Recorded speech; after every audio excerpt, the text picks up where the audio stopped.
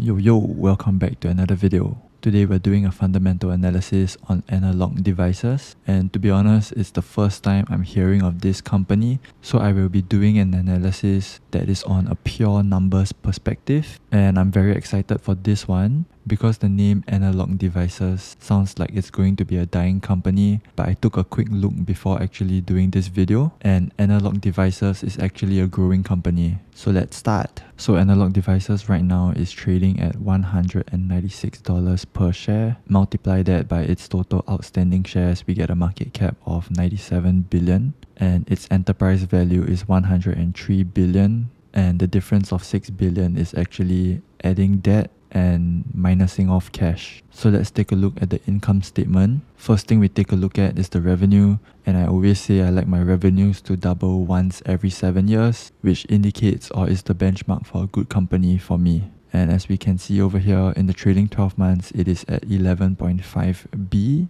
and back in 2016 to 2017 it is only at 3.4 to 5.2B which is of course easily a double. So revenues are growing pretty nicely overall but of course there's a slight dip from 2023 to right now. Gross profit seems to be very very high, currently at 7.2B. Let's compare that to its total revenues. We can see that gross profit margin is staying somewhat the same at around 60 to 65%, which is of course very high. Operating income right now is at 3.4B. Interest expense seems to be somewhat the same at around 250 to 300 million since 2017 earnings from continuing operations and net income is the same and it is right now at 2.8 billion. Moving on, we can see that revenue per share numbers is still at a double if we compare 2023 to 2016. But if we compare today's numbers to the 2017 numbers, then it is not at a double.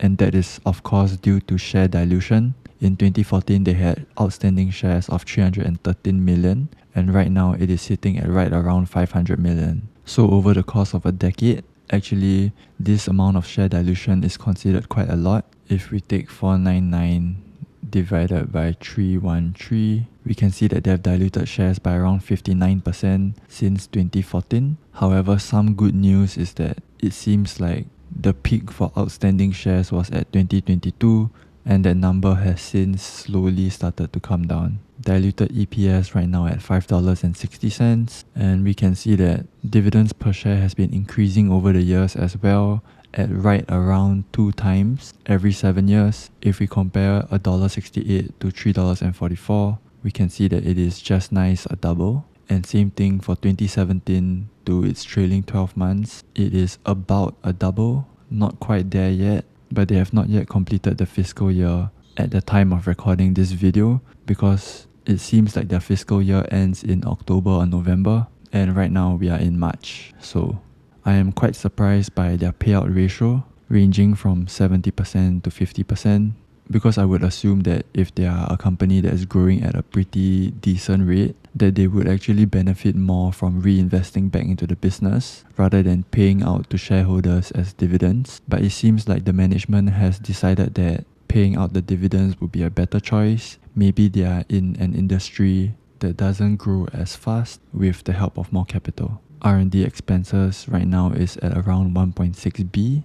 Now let's move on to its balance sheet. Total cash and short-term investments at 1.3B, total current assets at 4.4 and total assets at 48 billion. We can see that of the 48 billion, 26 billion is in goodwill and goodwill is likely not tangible assets, meaning to say that if the company is in financial distress, it may or may not be written off. And also, there's a huge jump from 2020 to 2021 in terms of goodwill, so I wonder what that one off number is. So, if you're going to invest in analog devices, I would suggest that you figure what this number is. Total current liabilities at 2.9B and total liabilities at 12.8B a net debt of right now at 5.7 billion and we always compare net debt to its free cash flow on net income Some people like to calculate net debt to market cap. However, I think that's a less accurate way to measure if the company is able to service its debts. Comparing it to the actual cash flow that a company generates seems to make more sense because it disregards the current stock price or valuation that the market gives to any particular company. So 5.7b in net debt, let's compare it to its cash flow.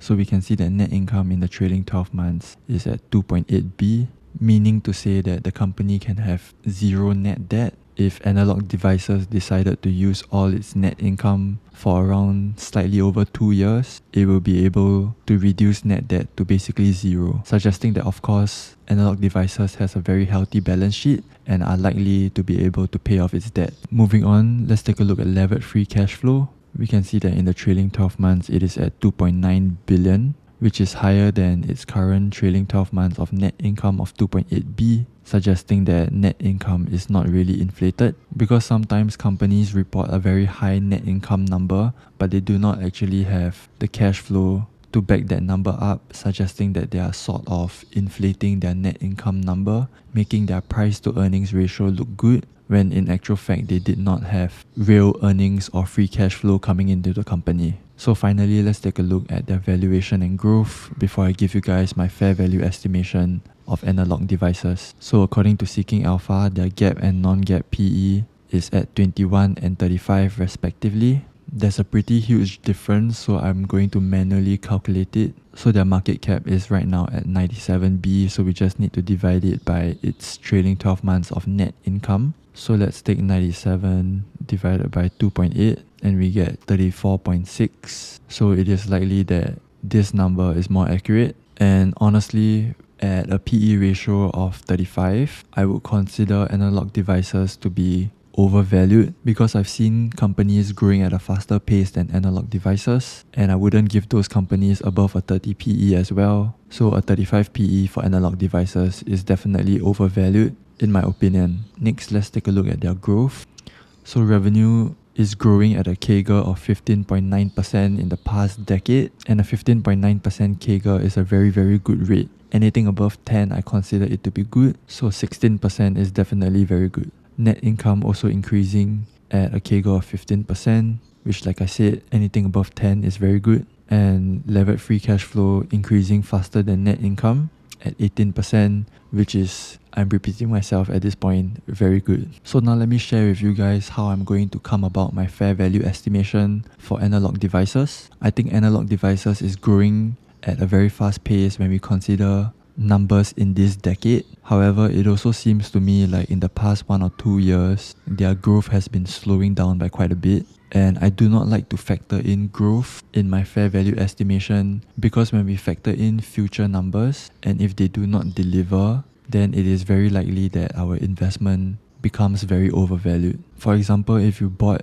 in 2022 expecting numbers to increase like it did from 2021, you're likely expecting a revenue number of upwards of 15 billion. However, in 2023, they only did 12.3 billion. And of course, then you're overvaluing your estimation for analog devices, and likewise for other companies as well. So, personally, for me, I will be giving analog devices a PE multiple of 12 to 16 or a free cash flow multiple of 12 to 16 of course respecting the growth that they have done in the past decade, but yet at the same time not factoring in that they will do the same for the next decade. So based on an EPS value, I will take $5.60 and when we take 5.6 times 12, we will get 67. So this is so this is my lower fair value estimate for analog devices based on an earnings per share basis. And when we take 560 times 16, we get $89.60. So based on an EPS basis, $67 to $89 per share, which is of course very far off its current share price of 196. And now if we compare that to its free cash flow per share, let's calculate the higher end of this range, 16 times 6.49, we get 103 dollars per share. So my fair value estimation for analog devices is $67 to $103 per share, meaning to say that analog devices would have to drop by around 50% to hit the top end range of my fair value estimation, suggesting that to me analog devices right now is a sell. However, I also do want to say that if you have a reason to believe that analog devices will do as well as it did in the past decade in this coming decade, then you will definitely have a higher fair value estimation of analog devices. Because if they're able to really 4x its revenues in the next decade, because if they're really able to 4x revenues and earnings in the next decade, then let's say even if you buy at a multiple of 30 times earnings, in 10 years the PE would be 7.5 based on the amount that you paid for. And then of course if they're able to continue that growth for another decade, then you're looking at a PE of under 2 for however much you paid for. But of course, for me, I do not like to factor in growth, and therefore, I have a multiple of 12 to 16 as my fair value range. And like I always say, the interpretation of numbers is an art and not a science, so everyone has their own different interpretation on a company's fundamentals. This video is my opinion and not advice. And with that said, I thank you guys for watching. Please help to like the video and subscribe if you are a fundamental investor looking for fundamental analysis. Bye bye.